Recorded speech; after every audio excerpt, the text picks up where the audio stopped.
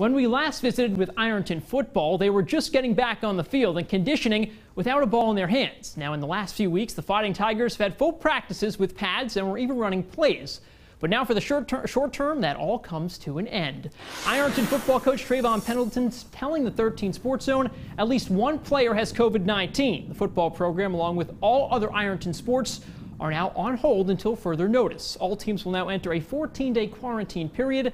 There's been no word yet if school plans to test all of its student athletes for COVID-19 before resuming in-person practices.